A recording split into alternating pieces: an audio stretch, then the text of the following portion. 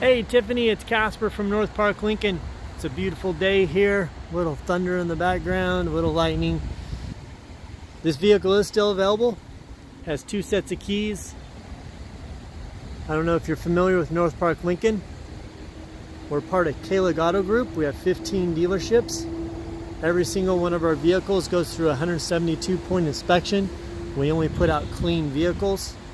We have a 48 hour return policy and every one of our vehicles has a warranty on it. My number here at the dealership is 210-960-5368. If this is a vehicle you consider owning, we are a posted pricing store. We sell in volume. Vehicles sell very, very quickly.